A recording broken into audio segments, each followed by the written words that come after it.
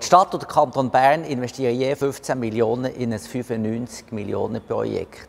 BA gehört zu Bern. Die alte Festhalle hat ihre Dienste da. Wir wollen auch in Zukunft Konzerte, wir wollen Events, Ausstellungen. Gerade Corona zeigt doch, wie wichtig soziale Kontakte sind. Aber BA ist auch eine wichtige Arbeitgeberin. Sie schafft Lehrstellen, Hotellerie, Caterer, Anbieter von Dienstleistungen im Ausstellungsbereich können davon profitieren. Es ist eine gute, eine richtige Investition und die 15 Millionen die können wir uns auch in dieser schwierigen finanziellen Ausgangslage leisten.